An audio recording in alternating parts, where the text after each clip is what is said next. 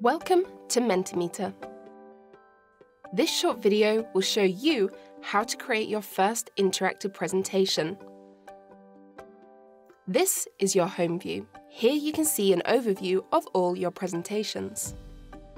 Select New Presentation to start creating. Welcome to the Edit view. This is where you create your presentation. On the right-hand side, you will see all the different question types and quick slide layouts you can choose from. I've selected an image choice question type, where you can add GIFs and images on each answer. Under Your Question, add the question you want to ask your audience. I will ask my audience if they have used Mentimeter before. Now I'm going to add three different answer options. You can also add images here if you have an image choice slide.